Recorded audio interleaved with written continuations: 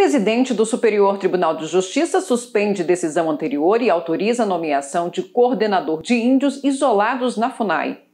A suspensão da nomeação de Ricardo Lopes Dias para a coordenação geral de índios isolados e de recente contato da Fundação Nacional do Índio foi determinada pelo Tribunal Regional Federal da Primeira Região em ação civil pública ajuizada pelo Ministério Público Federal. Segundo o tribunal, além dos indícios de que Ricardo Lopes não preencheria os requisitos para o cargo, foram apontadas pelo Ministério Público evidências de que ele teria uma estreita ligação com uma organização promotora de evangelização dos povos indígenas, o que revelaria um conflito de interesses com a política indigenista do Brasil.